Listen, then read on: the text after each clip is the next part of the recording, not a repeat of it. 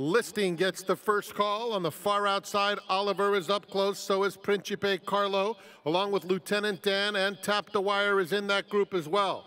Prodigal Son has come through along the inside. Listing, who broke well, is now three lengths off the pace, just inside of Foster Boy. They're followed by Midnight Special. Then it's a huge gap back to Daddy Jones and Moonhouse.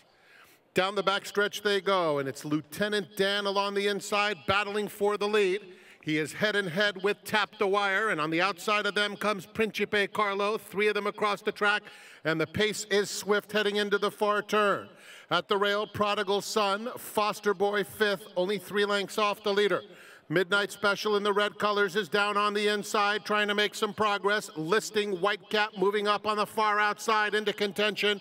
And then Oliver they passed the quarter pole and turned for home. A wide open scramble. Listing on the far outside coming after Lieutenant Dan. Foster Boy is in behind horses. Principe Carlo is in the mix too. Down at the rail, Prodigal Son. Lieutenant Dan is the leader coming for home. Lieutenant Dan by two lengths and showing no signs of weakening. It's a huge effort from Lieutenant Dan, who strolls in the Echo Eddie. Second to Principe Carlo in front of Listing, Foster Boy, and Prodigal Son.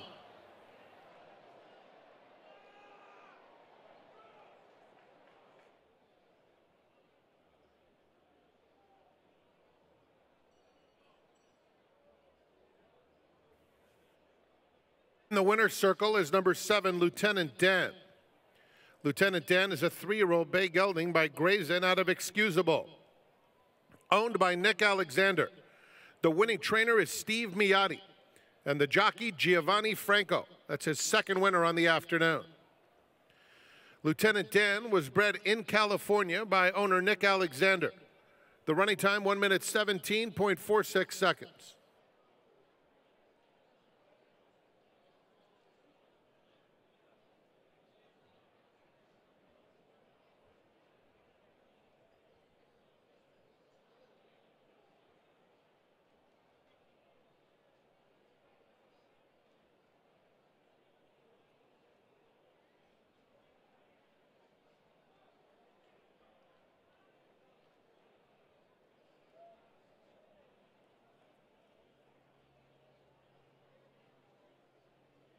Ladies and gentlemen, in the winner's circle, making the presentation for the Echo Eddie Stakes is Mr. Doug Burge, the president of the California Thoroughbred Breeders Association.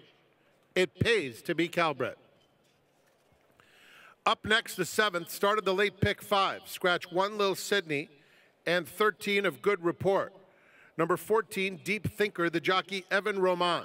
Post time in 31 minutes.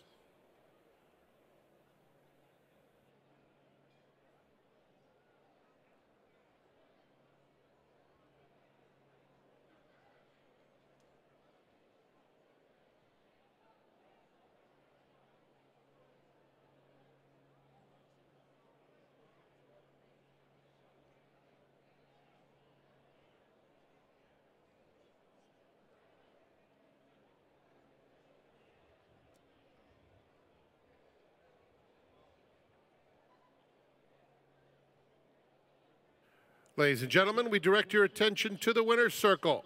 Michelle Yu is with owner breeder Nick Alexander. Thank you so much, Frank. Very exciting race there from Lieutenant Dan. Had a four-length score at Golden Gate, but you said it wasn't as easy as it looked on paper. It was a very salty race for a first condition up there. Every horse in there had a legitimate uh, chance. So he ended up clearing there. So what kind of confidence did that lead for you going into the race today? Well, the first thing Steve asked is, how far is it to that uh, stake? And I said, I think it's 16 days, which seemed a little short. We just jog him into it, and we'll see how he's doing. And then in the saddling paddock, he was jumping around for the first time in his life like he wanted to go do it. And he looked uh, great. I don't know if you saw him in the walking ring, but he kind of took off on the groom once they tried to put the jock up. So he just acted like a new horse. So a definite confidence booster for him. I have to ask about the name. Are you a Forrest Gump fan, or is that another Lieutenant Dan? No, that's where it came from. That's one of my favorite movies. I've seen it 20 times. Only 20, though? I'm disappointed, Nick. We have to have a movie night.